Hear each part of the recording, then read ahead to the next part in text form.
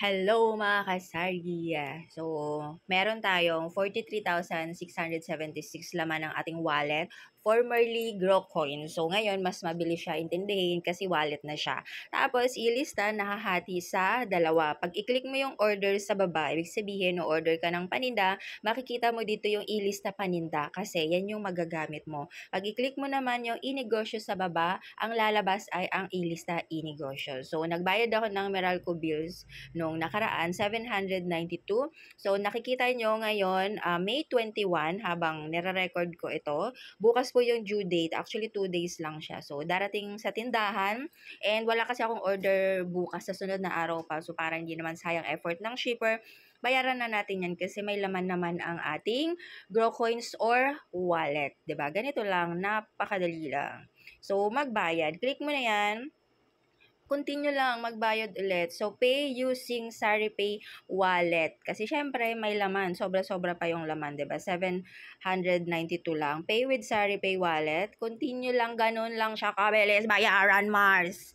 Ilista payment successful. So, pwede nating i-view yung receipt. Ayan, may kita natin dito. Ito siya, click mo lang yan. Ayan, so bayad na po. Pwede natin yung i-screenshot bilang proof. At balik na tayo sa ating homepage. Makita nyo bumalik na sa original. Maximum lang po ako ng 5,000 pesos.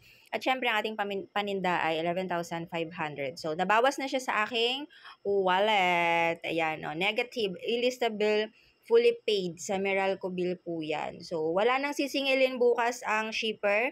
Pag i-click po natin yan, may nakalagay, you have no outstanding bills. Ganun lang siya kadali as easy as 1, 2, 3. Sabi nga nila, eh, grade 2, kayang-kaya na. ba? diba?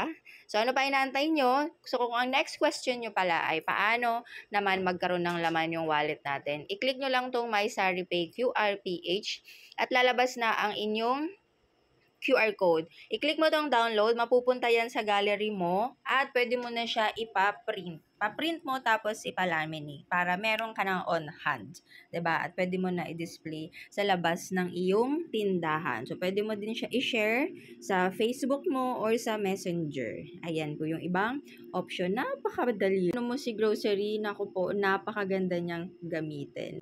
So, mag-download na kayo ng grocery app. I-click nyo lang sa link na i-share ko sa inyo.